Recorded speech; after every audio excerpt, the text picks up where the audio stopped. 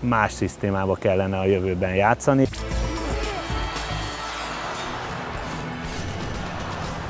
A válogatott meccsen egy picit többet kaptam azért a csapattól, mint legutóbb a finnek ellen. Szerintem most valamivel jobban játszottunk. Az, hogy 60 percig játszott jól a csapat, az nem azért van, mert erőlétileg gyengébbek vagyunk, ez egy butaság. Azért, mert cseréltünk szerintem fölöslegesen rengeteg játékost.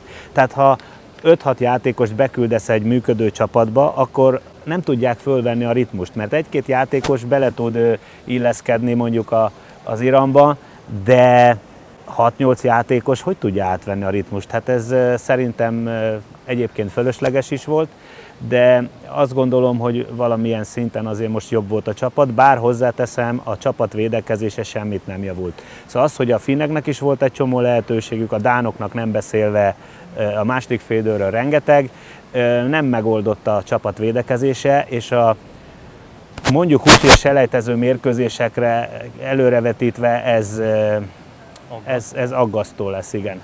Tehát ezt nem látok két, képességekben nem látok két olyan belső védőt a magyar futball jelenlegi felhozatalában, akik ezek meg tudják, akik meg tudnák oldani ezt a feladatot. Az, hogy jobb hátvédnek bal hátvéd nem volt az elmúlt időszakban se igazából, az is egy dolog, hát beszélhetünk a védelemről, de talán más szisztémába kellene a jövőben játszani, és ezt föl kellene ismerni nem fog menni.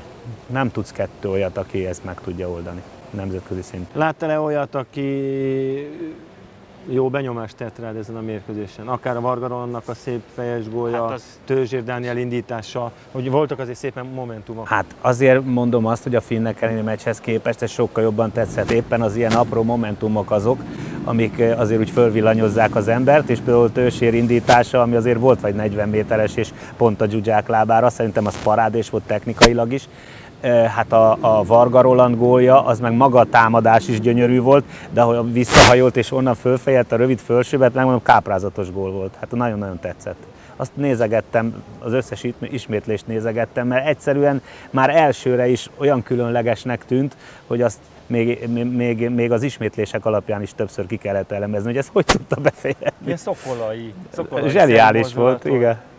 Ha már a szokolaihoz tudod a Varga Rolandot hasonlítani, ez nem olyan rossz.